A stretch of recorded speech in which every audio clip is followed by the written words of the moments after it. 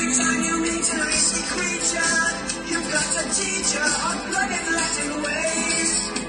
But even Rudy would have felt the strain of making school advances in the rain.